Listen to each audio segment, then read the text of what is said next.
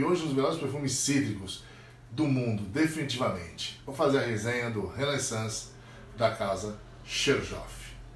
Bora ver?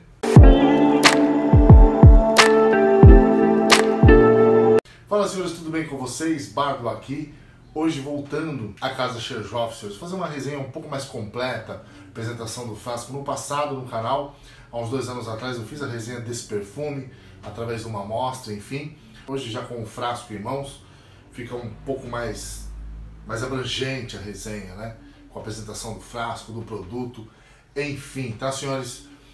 É, o que, que, eu posso falar para vocês? Esse é um dos melhores perfumes frescos do mundo, na minha opinião, tá senhores? E também um dos mais potentes.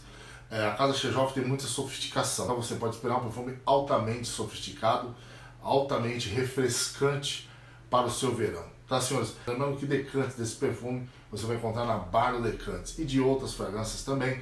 Eu vou deixar o link na descrição do vídeo, número de contato para você fazer o seu pedido do Decantes. Antes de comprar um perfume desse no escuro, teste, vê se ele combina com você, se é tudo isso que os resenhistas falam na resenha ou se realmente o perfume vai te apetecer.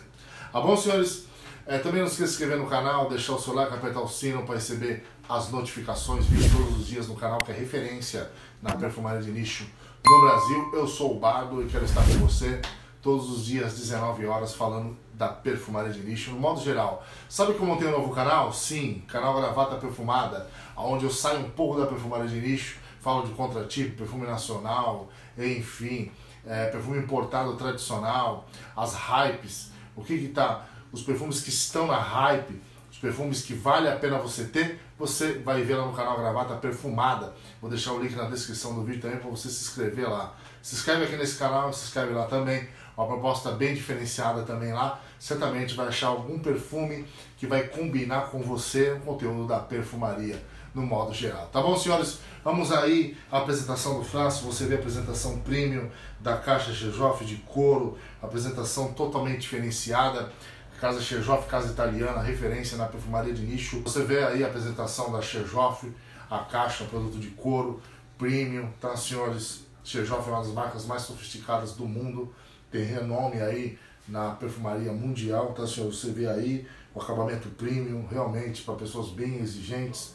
Você vê o acabamento premium do frasco, onde a fragrância dorme, tá senhores? Existe uma história por trás, 1861 está é, comemorando a, o renascimento da Itália, a unificação da Itália, tá, senhores? Essa fragrância se chamava apenas Renascimento ou Renaissance, a partir de, do ano específico aí, vou colocar o ano aí, é, entra a, o, o Naxos e o Chejof Zéfiro, o Zefiro, tá, senhores?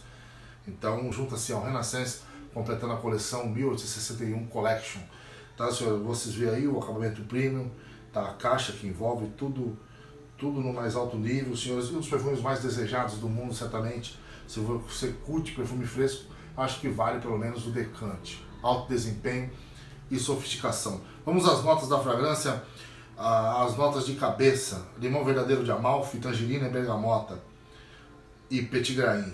Notas de coração, notas do meio, hortelã, lírio do vale e rosa. Notas de base, âmbar, cedro, musk e patchouli. Senhores, o que acontece quando você borrifa renascer da casa Cherjoff? Você tem um perfume muito poderoso, muito fresco, tá, senhoras?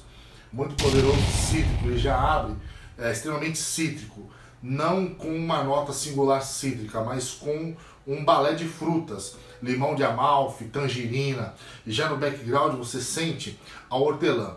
Essa hortelã é uma hortelã bem orgânica, não é aquela hortelã de perfumes sintéticos, não desprezando as outras perfumarias, as outras marcas, mas aqui a hortelã é bem natural, como se você estivesse pegando no pé a hortelã e cheirando entre os seus dedos, tá?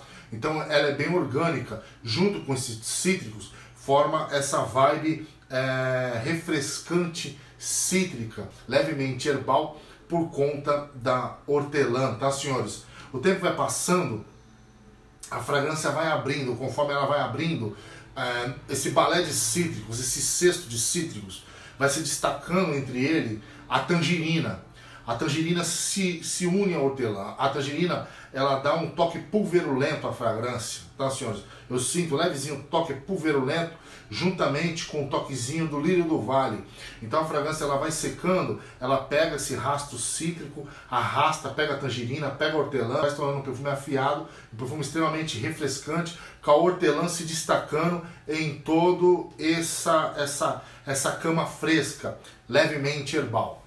Conforme o perfume vai evoluindo, aí no início, no início do, do, do, dry down, o perfume vai ficando um pouco mais verde, porque o Petit Grain fica de mãos dadas com a hortelã.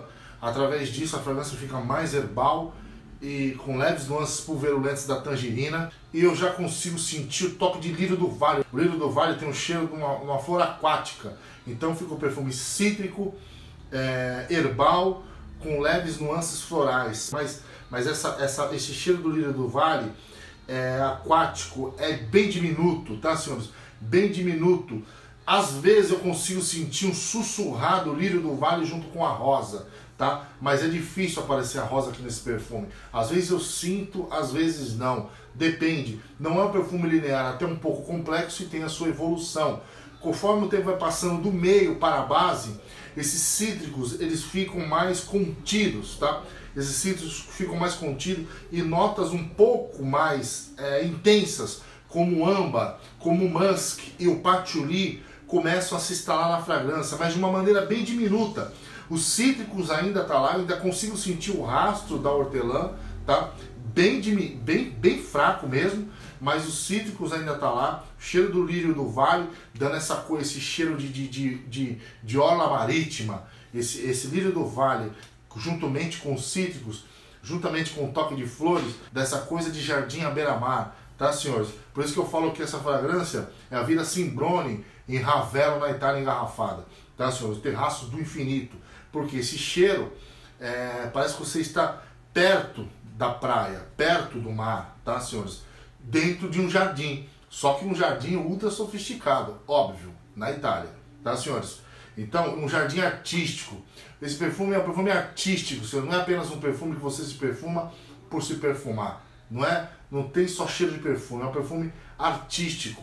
É, ele tem essa arte, ele trabalha em cima dessa arte, essa coisa do renascimento, essa história cultural da Itália. E na base do perfume, sim, você sente ali toquezinhos de amba, madeiras, cedro, enfim, patchouli bem, bem fraquinhos os cítricos ainda tá lá, bem forte, tangerina, limão siciliano, enfim, estão todos lá.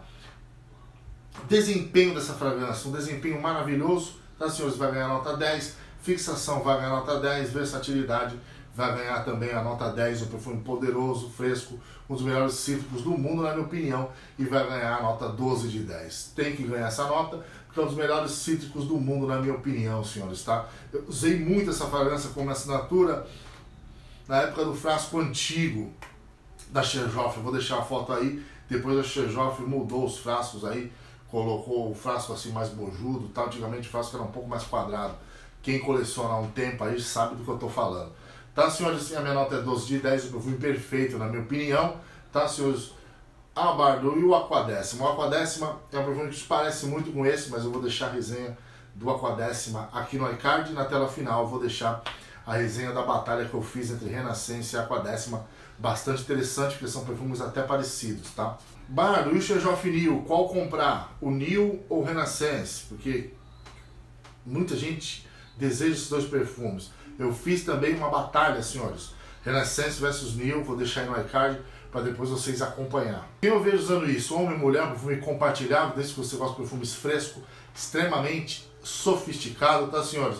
Desde um de um homem de 20 anos aí, adolescente, muito adolescente, não porque o perfume tem uma sobriedade, mas se você quiser usar, você usa. Mas aí 22, 23 anos, até mais de 50 anos, pode usar tranquilo, homem, mulher, trabalho, festa, é... enfim, todo tipo de situação que você queira, um perfume fresco, mais sofisticado. Verão ou primavera, acho que é a estação primorosa para esse tipo de fragrância. Senhores, essa foi a resenha de Renascença da Casa Cherjoff. Decante essa fragrância de outros perfumes da Casa Cherjoff ou de outras marcas na Bar do Decantes. Vou deixar link na descrição do vídeo, número de contato via WhatsApp para você fazer o seu pedido.